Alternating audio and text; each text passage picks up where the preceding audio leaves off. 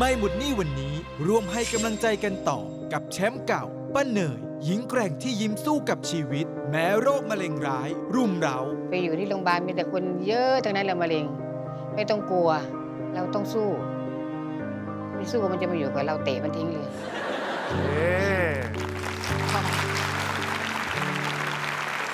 ซึ่งเธอต้องมาประชันเสียงร้องกับคนสู้ชีวิตคนใหม่อย่างพี่อรุณ แม่ ที่ต้องยอมตัดอนาคตลูก เพราะตนเองป่วยเป็นโรคไตวายระยะสุดท้าย พอป่วยปุ๊บเนี่ย มันจะทำงานไม่ได้พี่อรุณไปบอกลูกว่าไงอยู่แค่มหกก็เลิกเรียนนะ แม่ไม่มีตังค์ส่งแม่ทำงานไม่ได้แล้ว ผู้ใดมาปันบอกแค่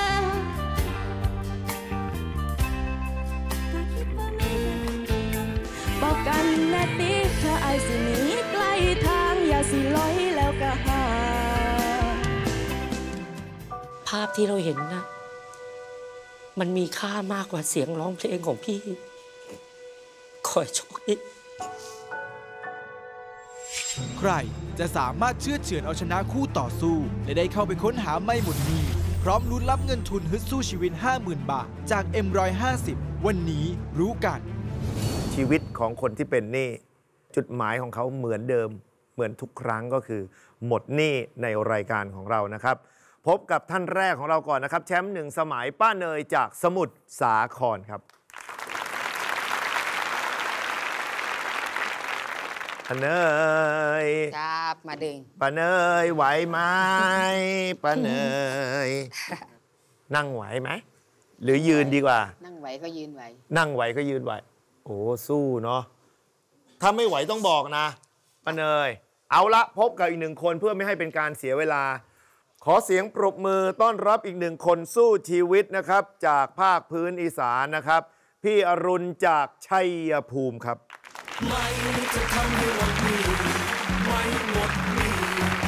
ครับสวัสดีจ้าพี่อรุณค่ะ อะพี่อรุณอยู่ที่ชัยภูมิชัยภูมิเลยค่ะอ๋ออยู่อำเภออย่างชัยภูมิน้องบัวแดงค่ะหน้องบัวแดงนะครับผมอะเดี๋ยวให้พี่อรุณประจำที่ก่อนเนาะแล้วก็ดูว่าป้าเขาทำแบบไหนนะครับค่ะพี่อรุณยืนได้ไหมได้ได้นะอ้าวพี่อรุณประจำที่ครับเอ้าทวนกันหน่อยนะคุณผู้ชมนะ ป้าเนยของเรานะครับ นี่ธนาคารอาคารสงเคราะห์ที่กู้มาเป็นค่าเดินทาง เพื่อไปรักษาตัวเอง แล้วก็ลงทุนค้าขาย เป็นหนี้ 1 6 2 2 2 0 บาท ตอนนี้ลดหนี้ไปได้ 10,000 เหลือ 1 5 2 2 2 0 บาทนะครับป้าเนย จะร้องเพลงอะไรจ๊ะ กินข้าวหรือยังป้าเนย จ้าพร้อมไหมพร้อมจ้ะ กินข้าวหรือยังเชิญครับ ไม่มีไม่เหรอมาอ้าวมีแต่เขาแบบเป็นจังหวะไงยังไม่เนี่ยเดี๋ยวผมจะพร้อมนะ ผมก็จะไปปุ๊บเขาจะเอาใหม่มาให้ป้าปุ๊บอ่าแล้วเขาก็จะตัดภาพมาป้าร้องอ่าเดี๋ยวเอาใหม่มาตรงนี้เอาใหม่มาตรงกูนี่เร็วไม่รู้เรื่องลองไมค์เลก่อนยลองไมค์เออเอาใหม่มาตรงนี้อ่าป้าเนยพร้อมยังครับ พร้อมแล้วจ้ะถ้าพร้อมใหม่อยู่นี่อ่าพร้อมแล้วครับ กินข้าวหรือยังครับ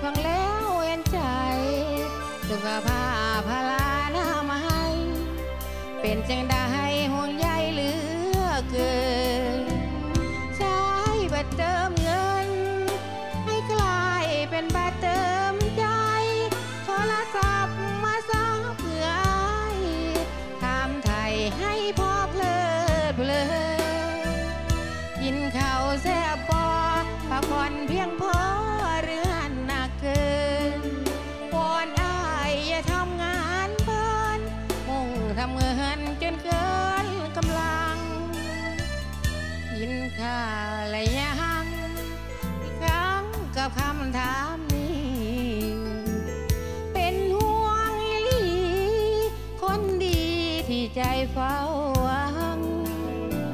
เหตุงานสายบัตรเติมใจน้องไกลหมดตังเอาไว้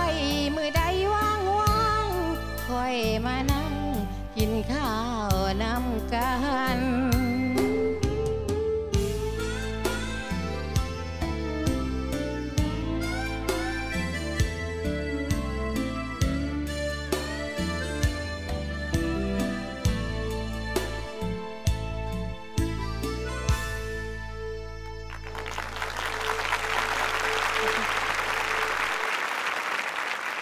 เอาละมาพี่ฮายเชิญครับ เป็นไง โอ้ยป้าเนยจ๋าจ้ะรักป้าจังเลยอะ เป็นคนป่วยที่สมาร์ทอีกแล้วต้องพูดคำนี้อะไม่รู้สิหนูว่าทุกคนในสตูเนี่ยมีความสุขไปกับป้าด้วย ซึ่งลืมไปเลยว่าป้าเป็นคนป่วย เพราะป้าไม่ได้เอาความโศกเศร้า ไม่ได้เอาความหงอยเหงา ไม่ได้เอาความปวดหูของโรคที่มันอยู่ในร่างกายของป้ามาแสดงให้พวกเราได้เห็นเลย ให้มันรู้ว่าเฮ้ย อีโรคทั้งหลายอาศัยข้าอยู่นะเว้ย เพราะฉะนั้นอย่ามาอยู่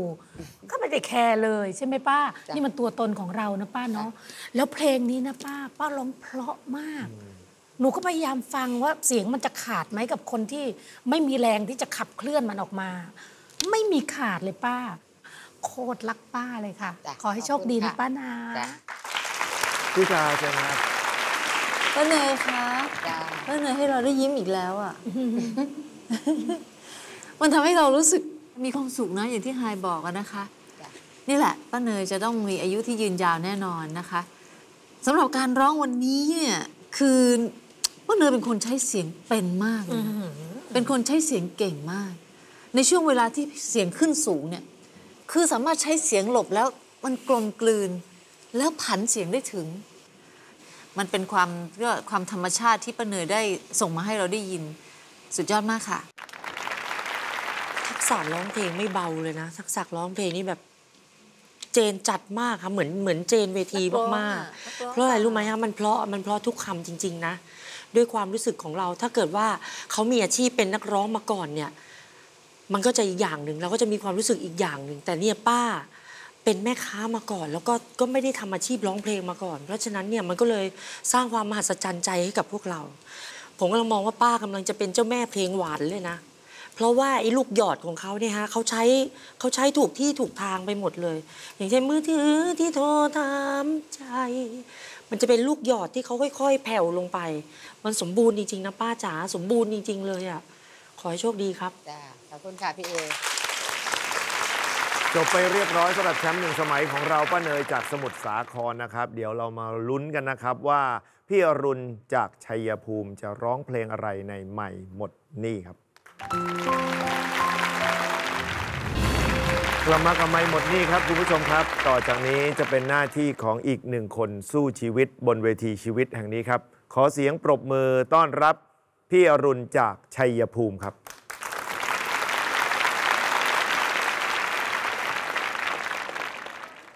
สวัสดีจ้าพี่อรุณสวัสดีค่ะมามายืนตรงนี้ขยับมา ผู้หญิงคนนี้มาในรายการของเราแน่นอนว่าเพื่อหมดหนี้ แต่ชีวิตของเธอกว่าจะหมดหนี้ได้มันลำบากลำบน ถ้าเธอแข็งแรงอยู่ นั่นหมายความว่า เธอยังหมดหนี้ได้ นั่นหมายความว่า เธอยังต่อสู้ในชีวิตและทำเพื่อคนที่เธอรักได้ แต่วันนี้โรคร้ายกำลังรุมเร้าเธออย่างรุนแรง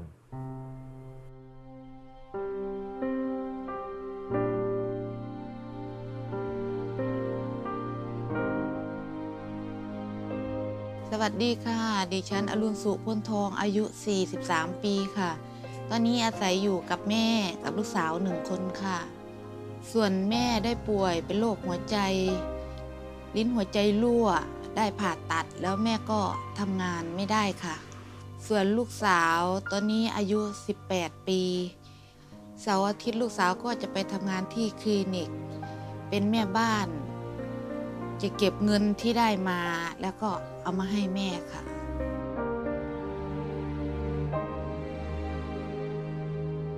ตอนครอบครัวก็มีอาชีพทำนาพอจบป .6 ก็ช่วยพ่อแม่ทำนา พออายุ 15 ก็เข้ากรุงเทพ ไปทำงานโรงงานอาหารกระป๋อง แต่ก็ทำได้ไม่นานก็เกิดอาการแพ้ถุงมือ พออายุ 19 ก็ได้ยินวิทยุประกาศว่ามีวงหมอลำรับแดนเซอร์ก็เลยเข้าไปสมัคร จนกระทั่งได้เจอกับสามี เขาเป็นเจ้าของร้านอาหาร ก็เลยลองคบดูใจกันมา จึงได้ตัดสินใจอยู่ด้วยกันมีลูกหนึ่งคน แต่พอคลอดลูกเขาก็เปลี่ยนไป เขาเริ่มเมาเมามาแล้วเขาก็ทะเลาะกันแล้วเกิดลงไม้ลงมือ แล้วก็ทนไม่ไหวก็หอบลูกกลับบ้าน กลับมาอยู่บ้านแล้วก็เลี้ยงลูกคนเดียว ตอนนั้นมาอยู่ที่บ้านก็ไปรับผ้าปิดจมูกกระโปรงนักเรียนกางเกงนักเรียนมาเย็บที่บ้านค่ะทำตั้งแต่ตีห้ากว่าจะเสร็จก็ประมาณสี่ทุ่ม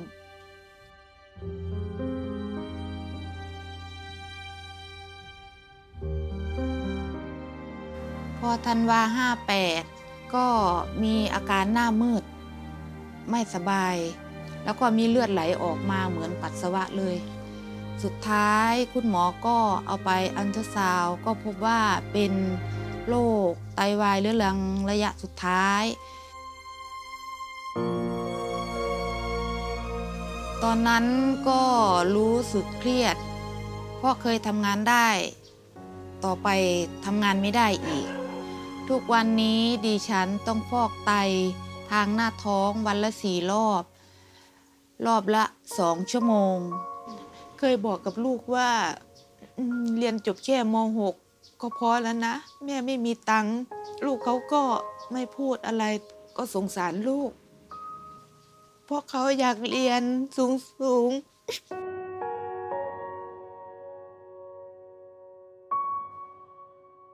สาเหตุที่เป็นหนี้กู้เงินนอกระบบมาเอาที่นาไปจำนองค่ะเพื่อมารักษาตัวเองตอนที่ป่วย แล้วก็ค่าเดินทาง แล้วก็ใช้จ่ายในครอบครัวด้วยค่ะ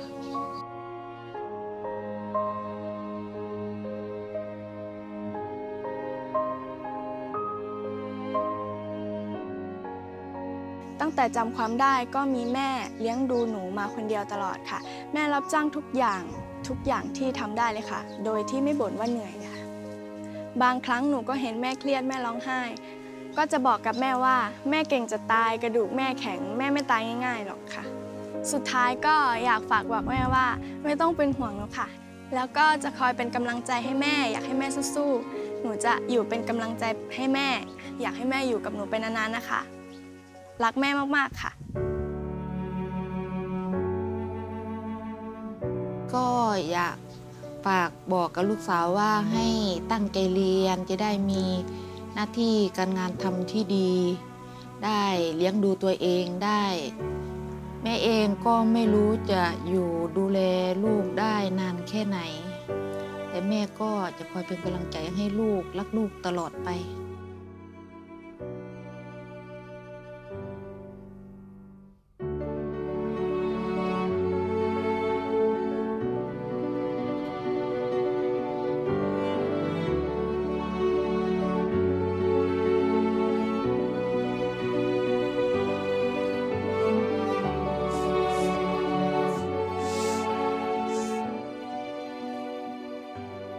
ลัวตายไหมครับพี่อรุณไม่กลัวแต่แต่อยากอยู่กับลูกไปนาน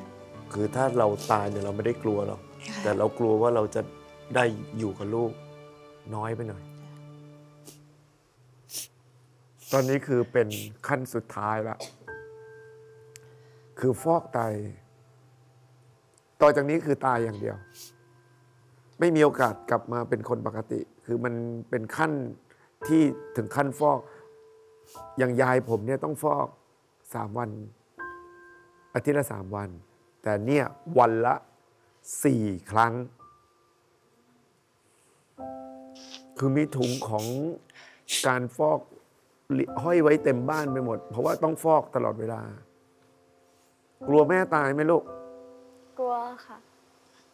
ก็ทำใจยังไงกก็ ตอนแรกก็เสียใจค่ะ แต่พอเริ่มรู้ว่าถ้าเกิดเราจะมัวมาเสียใจอยู่ ก็ยิ่งจะทำให้แม่อาการแย่เพราะแม่ก็เป็นห่วงเราค่ะ แล้วก็เลยต้องทำให้แม่เห็นว่าเราไม่ได้เศร้าเราอยู่ได้ค่ะเราเราเข้มแข็งใช่ไหมค่ะรักลูกสาวคนนี้มากไหมฮะรักค่ะมีลูกคนเดียว แยกทางกับสามี สุดท้ายก็ได้มาเลี้ยงเด็กน้อยคนเดียวทำงานทุกอย่าง เหนื่อยไหมพี่อรุณเหนื่อยแต่ก็เต็มใจทำว่าว่าได้อยู่ใกล้ลูก มีสิ่งหนึ่งพอเขาป่วย พอป่วยปุ๊บเนี่ย มันจะทำงานไม่ได้พ อทำงานไม่ได้มันจะมีผลต่อการศึกษาของลูก พี่อรุณไปบอกลูกว่าไงจุบแค่มหกก็เลิกเรียนนะ แม่ไม่มีตังค์ส่งแม่ทำงานไม่ได้แล้ว เสียใจไหมที่บอก เสียใจ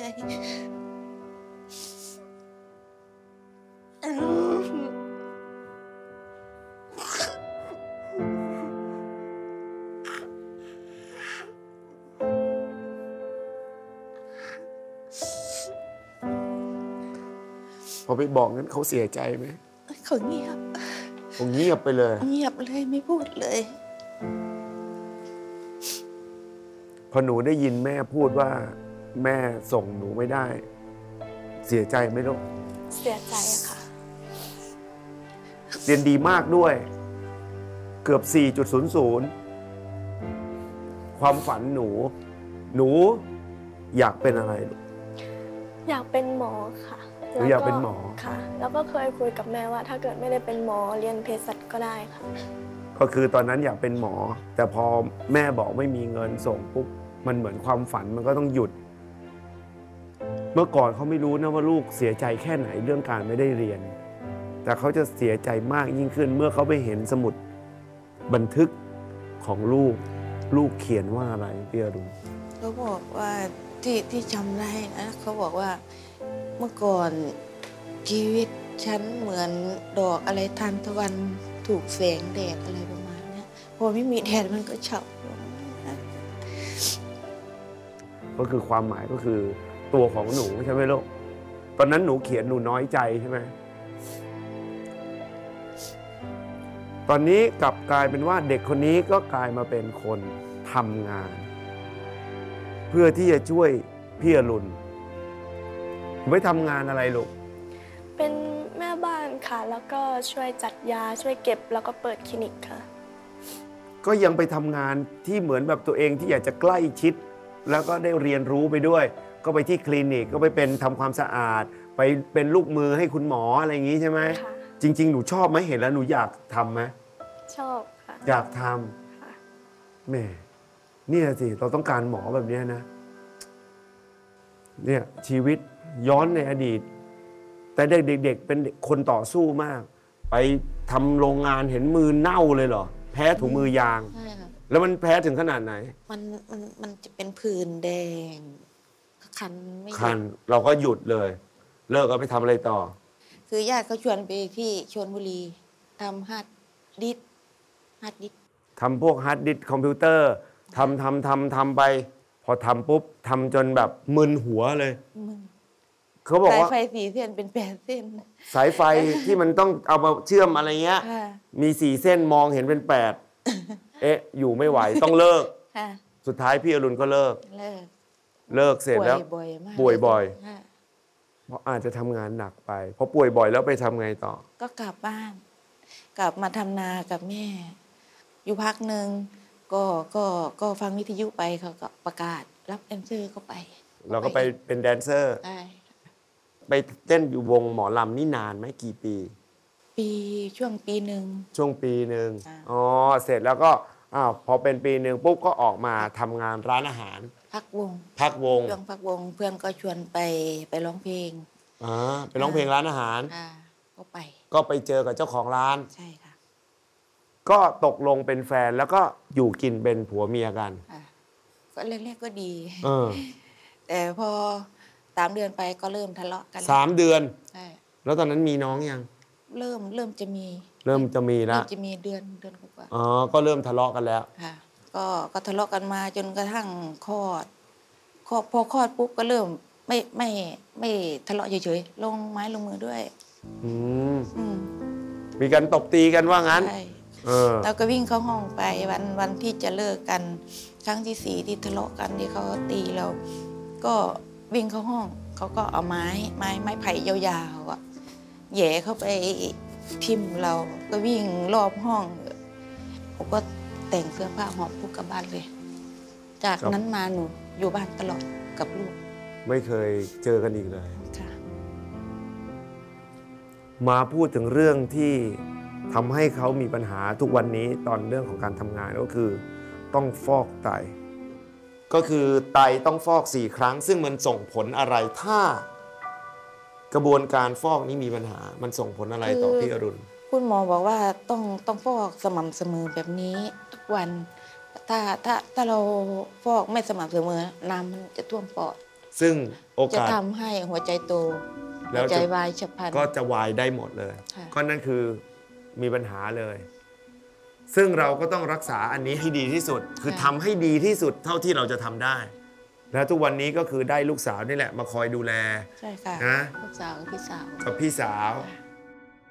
แต่ทีนี้มันเป็นหนี้หนี้เกิดจากอะไรพี่อรุณก็กู้มาใช้จ่ายทั้งค่าค่ากินค่ารถค่าอุปกรณ์ที่ต้องต้องต้องใช้ ต้องใช้ก็เอาที่ดินของของเราเนี่ย ค่ะ ไปจำนองกับญาติค่ะญาติก็คือน้องค่ะเราไปจำนองมาแค่กี่บาทห้าหมื่นห้าหมื่นบาท แต่ที่ดินเนี่ยมันมีมูลค่ามากกว่านั้นค่ะทีนี้วันนี้พี่อรุณไปคุยกับน้องบอกว่าไง ถ้าถ้าเกิดพี่ใช้หนี่ไม่ได้ห้าหมื่นถ้าถ้าตายนะ ก็บอกตรงๆ ถ้าพี่ตายก็เอาเงินส่งให้หลานต่อให้ถึงสองแสนแล้วก็อนาไป ก็ความหมายก็คือ นาที่จำนองไปเนี่ยก็คือเหมือนแบบเอาเงินเอาเงินมาให้เราสองสองแสนหักไปห้าหมื่นและอีกแสนห้าโอนมาให้หลาน เพื่อจะให้หลานเนี่ยได้เรียนต่อไป นี่คือจุดสุดท้ายที่ผู้หญิงคนนี้ สั่งเสียไว้กับญาติ วันนี้อยากจะพี่รุณอยากจะบอกอะไรกับลูกสาว แล้วก็พี่สาวที่แสนดีเชิญจ้ะแม่ก็อยากให้ เข้มแข็ง เป็นตัวของเจ้าของเป็นเด็กนาหลักสำหรับทุกคน ป้าก็ถ้าเกิดเป็นอย่างไปก็คือลูกคนหนึ่งก็ให้เบื้องหลานแทนเพราะว่ารักพี่สาวเหมือนมีคนหนึ่งเขาก็รักลูกสาวเหมือนลูกของเขาเหมือนกัน นี่คือการสั่งเสียผ่าน รายการทีวี ฟังแล้วก็หดหูฮะแต่ชีวิตก็คือก็ต้องผ่านมันไปให้ได้ เอาละก็ไม่อยากให้ถึงวันนั้นอยากจะให้หนี้มันหมดซะก่อนที่จะเป็นแบบนั้นนะครับ วันนี้พี่อรุณก็เป็นหนี้อยู่ทั้งหมด 50,000 บาท เพลงที่พี่อรุณจะร้องคือเพลงอะไร สิเทน้องให้บอกแน่ สิเทน้องให้บอกแน่ ถ้าพร้อมแล้วเชิญครับ พี่อรุณ หญิงที่ต้องต่อสู้กับโรคไตวายระยะสุดท้ายมาหลายปี วันนี้เธอมาเพื่อทำความฝันของลูก และความหวังที่จะได้หมดนี้ ช่วงหน้าเรามาฟังเสียงเพลง ที่กลั่นมาจากใจของเธอพร้อม ๆ กันครับ พี่อรุณ แม่ที่ต่อสู้เพื่อลูก แม้ร่างกายนับวัน จะอ่อนแรงลงไปทุกทีวันนี้เธอรวบรวมพลังแรงกายที่เหลือเพียงน้อยนิด กลั่นออกมาเป็นเสียงร้อง หวังลบล้างหนี้สินให้หมดไป เราไปเอาใจช่วยเธอกันครับ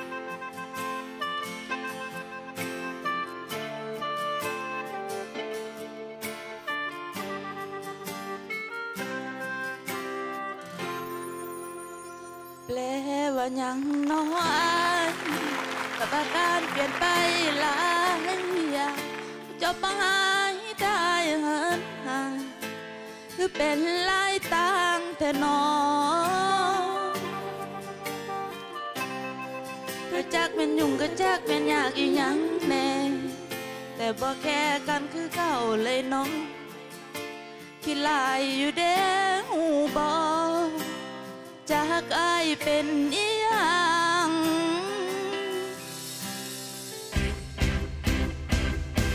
บอกกันแน่เด้ถ้าสิแท้น้องทิม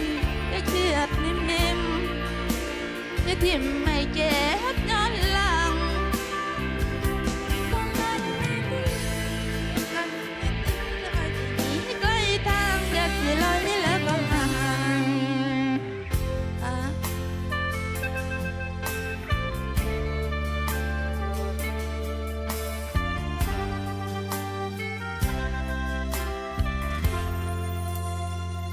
กแต่เดเดอายฝากน้ำใจกับอายนานนะเชื่อบ่หวังกับคำหักกัน ผู้ใดมาปันบ่แค่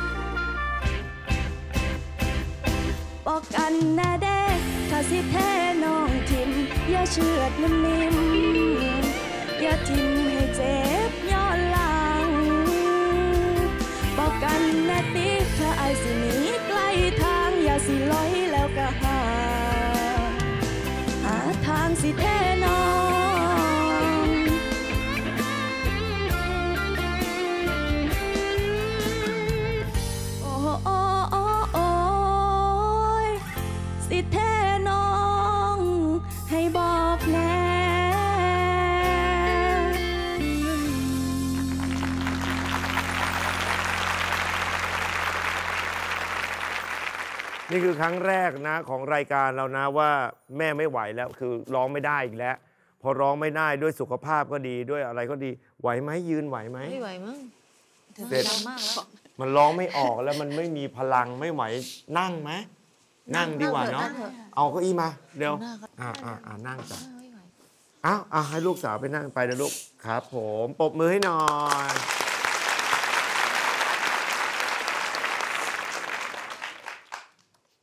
มันไม่ออกนะ ทั้งร้องไห้ด้วยทั้งไม่สบายด้วย แล้วกำลังมันหมด แต่ก็มาสู้ครับ ว่ากันไปตามเรื่องราวของการร้องเพลงและชีวิต พี่เอเชิญครับ ตื้นตันใจมากๆเลยครับ ก็พี่อรุณผมเห็นภาพแรกเลยผมสงสารมากเลยอะสงสารว่าผู้หญิงคนนี้นอกจากป่วยแล้ว คงจะเหนื่อยล้ามากๆ แล้วก็เป็นจริงอย่างที่เราคิดเอาไว้นะครับว่าสุดท้ายพอได้ฟังเรื่องราวชีวิตแล้วเออสองคนแม่ลูกนี่สู้กันเหลือเกิน และโดยเฉพาะเด็กผู้หญิงคนหนึ่งที่ที่เป็นลูก แล้วก็ช่างเป็นลูกที่ดี เป็นลูกที่ประเสริฐเหลือเกิน จากภาพเมื่อสักครู่เนะครับที่เล่าเรื่องราวไปยังก็นั่งฟังกันไปนะครับ แต่พอตอนพี่อรุณร้องเพลงมา เขาเป็นกำลังใจให้แม่ของเขาตลอดเวลา เขาพยายามร้องไปกับแม่เขาตลอดเวลา นี่คือกำลังใจที่ดีของพี่อรุณจริง ๆ เลยนะ ขอภาวนาว่า ขออย่าให้มีวันที่ไม่คาดคิดเกิดขึ้น ขอให้เจอหมอดีแล้วยาดี ขอให้มันมีปาฏิหารย์ขอให้โรคภัยไข้เจ็บที่มีอยู่ ทุเลาเบาบางไปด้วยความกตัญญูรู้คุณของเด็กคนนี้ และบุญกุศลที่พวกเราทำกันมานะ ขอให้ส่งผลให้พี่อรุณมีสุขภาพที่แข็งแรงมากยิ่งขึ้นนะครับ แล้วก็อยู่กับลูกไปได้นาน มีกำลังใจที่ดีนะพี่อรุณนะ พวกเราเป็นกำลังใจให้ ส่วนในเรื่องของการร้องเพลงในวันนี้ ผมขออนุญาตไม่คอมเมนต์เพราะว่า ภาพที่เราเห็นนะมันมีค่ามากกว่าเสียงร้องเพลงของพี่ ขอให้โชคดี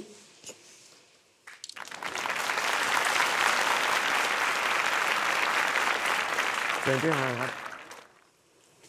พี่อรุณจ๋าวันนี้ก็พี่ก็เป็นอีกคนหนึ่งที่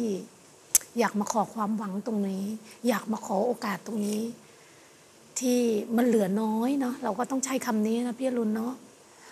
หนูอยากให้พี่อรุณคิดซะว่าเวลาที่มันเหลืออยู่เนี่ย อย่าไปโศกเศร้ากับมันเลยพี่ ถ้าเรายิ่งโศกเศร้ามันก็ยิ่งทำให้ร่างกายเราเนี่ย มันหดหู่มันก็ทำให้เราไม่มีแรงที่จะสู้ต่อไป เพราะฉะนั้นเวลาที่มันเหลืออยู่เนี่ยมันน้อยนิดเนี่ยทำให้มันมีความสุขดีไหมเนาะยิ้มรับสู้กับมัน อะไรจะเกิดขึ้นก็ช่างมัน คุณหนูรู้ว่าพี่อะทำเต็มที่อยู่แล้วล่ะ วันนี้มาตรงเนี้ยกำลังใจร้อยกว่าชีวิตเนี่ยให้พี่หมดเลย และหนูเชื่อว่าคนที่ดูเทปวันเนี้ยส่งกำลังใจให้พี่ทั้งประเทศเลย ขอให้กำลังใจอันนี้เป็นยาวิเศษที่สุด สำหรับพี่ให้พี่ได้มีอายุยืดยืนยาว เรื่องการร้องเพลงเหมือนเอเหมือนกันตั้งใจไว้ว่ามันคอมเมนต์ไม่ได้เลยพี่ขาเพราะพี่มาทำด้วยใจ มันก็เลยได้รับใจเราไปเต็มๆเหมือนกัน ขอให้โชคดีค่ะพี่จ๋าเชิญพี่ทาครับอรุณสวัสดีค่ะ เข้าใจนะ ถึงความห่วงเป็นแม่นี่ บอกแล้วว่ารักอะไรก็ไม่สู้ความรักของแม่ที่มีต่อลูก มันเป็นความรักที่ที่อยากเห็น อยากจะอยู่เคียงข้างลูก อยากจะดูเห็นความสำเร็จของเขาแต่ถึงวันเนี้ยสิ่งที่มันเกิดขึ้น ทุกคนให้กำลังใจอรุณนะ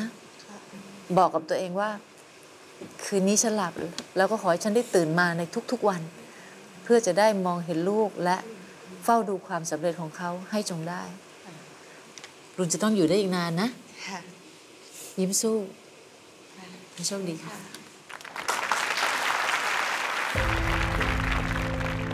จบไปแล้วกับการประทะเสียงร้องของแชมป์และคนสู้ชีวิตคนใหม่ ใครจะสามารถคว้าชัย เข้าไปหาไม่หมุนนี้ได้สำเร็จ ช่วงหน้ารู้กัน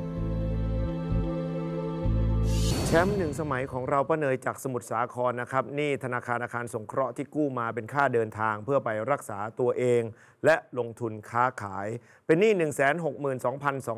162,220 บาทนะครับ ตอนนี้ลดหนี้ไปได้ 10,000 เหลือ 152,220 บาทนะครับ อีกหนึ่งคนสู้ชีวิตจากชัยภูมิ พี่อรุณของเรานะครับนี้ที่กู้ญาติมาเพื่อรักษาตัวเองเป็นหนี้50,000 บาท หนึ่งคนสู้ชีวิตบนเวทีชีวิตแห่งนี้เท่านั้นที่จะได้เข้าไปหาใหม่หมดนี้ถ้าพร้อมแล้วผมจะขอหนึ่งคะแนนแรกจากพี่ฮายนะครับ ถ้าพร้อมแล้วเชิญครับ ไม่อยากตัดสินเลย ไม่อยากเลือกแต่มันก็ต้องเลือก ขอเลือกเลยค่ะ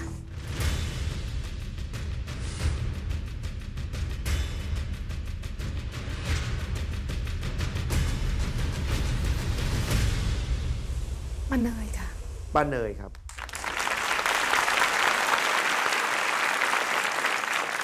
หนึ่งต่อศูนย์นะครับ อีกหนึ่งคะแนนผมจะขอจากพี่เอ ถ้าพี่เอมอบให้กับป้าเนย ป้าเนยก็จะเป็นแชมป์ต่ออีกหนึ่งสมัย คนสู้ชีวิตคนใหม่ ก็กลับบ้านครับ ขอให้คุณพระคุ้มครองทั้งสองท่านให้มีสุขภาพที่แข็งแรงขึ้นนะครับ ขออนุญาตเลือกครับ นี่คือความลำบากใจนะครับของกรรมการแม้แต่ผมเองก็ตามนะครับ ที่ต้องตัดสินการร้องเพลง บนคราบชีวิต และคราบน้ำตาของคนที่แบกทุกข์มาหาเราครับ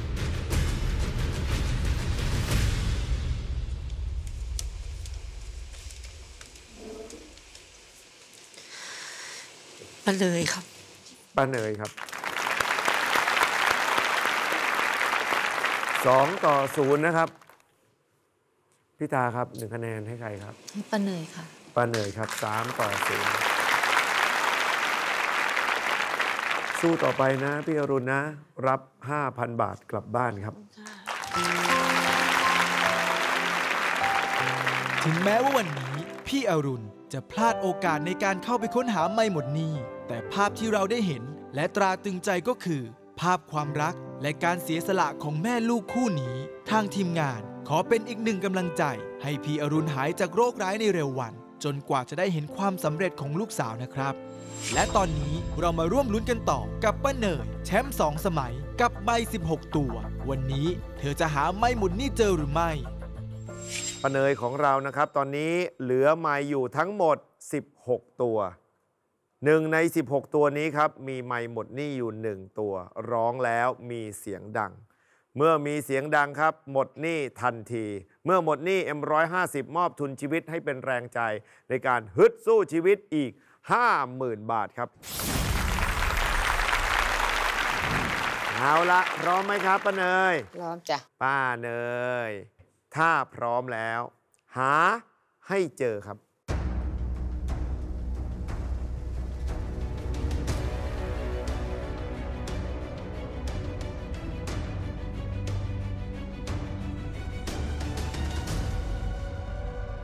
เอาละครับป้าเนยจะปรึกษากับคุณลุงกับลูกชายไหม เอาตัวไหนพ่อ เลือกให้แม่เลือกบ้างเอาสิเลยเลือกเอาเลยพี่แม็กซ์จะเอาตัวไหนลูกเลือกด้วยไม่น่าถามแม่เนาะไม่ได้เออไม่น่าถาม ป้าบอกไม่น่าถามให้เสียเวลาเนาะเอาลูกป้าเลือกเองดีกว่า เหมือนลมขึ้นหน่อยเออๆไม่น่าทำให้เสียเต็มเหนียวเลยป้า อืมอ้าวป้าเนยเลือกใหม่หมายเลขหนึ่งจ้ะ หนึ่งจ้ะ อ้าวแล้วหันมาทางนี้ทำไมอะทำให้เป็นรอบสิเนาะอ๋อหันรอบอ๋อหมายเลขหนึ่งทำไมจ๊ะชอบจ้ะชอบจบ เอาละงั้นพร้อมไหม พร้อมพร้อม ขอให้ไม่หมายเลขหนึ่งนะครับ เป็น ไม่หมดหนี้ของคุณ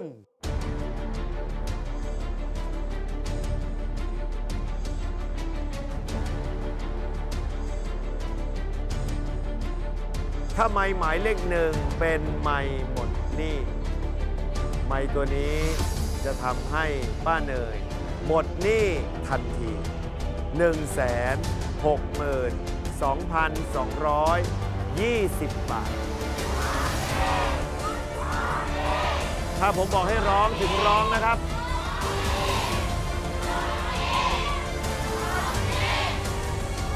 โชคดี หมดหนี่ร้องครับ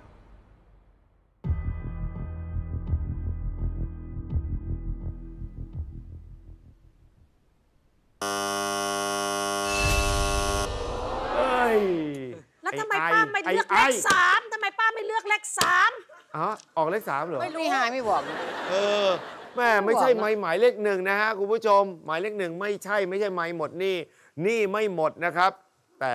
จากหนี้ 1 6 2 2 2 20ไม่หมดก่อนลดหนี้ไปได้ 20,000 แล้วตอนนี้เหลือ 1 4 2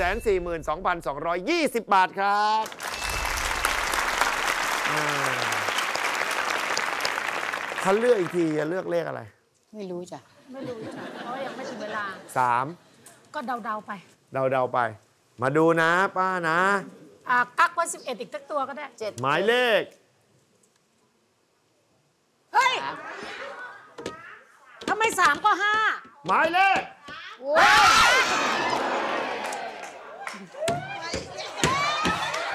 หมดหนี่อีกแล้ว เฮ้ยอะไรอะสองดอกแล้วอะเจ๊หมดนี่ไม่ใช่เอ๊ะเฮ้ยไม่รู้อะแล้วต่อไปเฮ้ยก็บุญให้กับพี่ตัวหายเลขด้วยเขาเขาทำบุญเกี่ยวกับตัวเลขมาเยอะมาก รู้ไหมว่างวดที่แล้วว่าถูกหวย 31 ใบ แต่ไม่กล้าโพสต์ลงเพราะกลัวคนยืมตังค์รู้แล้วตอนนี้รู้แล้ว แต่ออกทีวีฮะแต่ออกทีวีเขาตัดทิ้งอ๋อไม่รู้ได้อะไงไอ้พวกนี้มันชอบหักหลัง เออ เอาแต่ป้าเนยไม่เป็นไรเนาะสู้ต่อเสียงเพราะๆแบบนี้มาดูหัวใจของผู้หญิงคนนี้เดินทางต่อไป ต่อสู้กับโลก ต่อสู้กับหนี้ต่อสู้กับโรคร้ายและสุขภาพ เขาใช้หัวใจของเขาเดินทางบนเส้นทางนี้ แล้วกลับมาจันทร์ถึงพฤหัสในเวทีชีวิตแห่งนี้ใหม่หมดหนี้สวัสดีครับ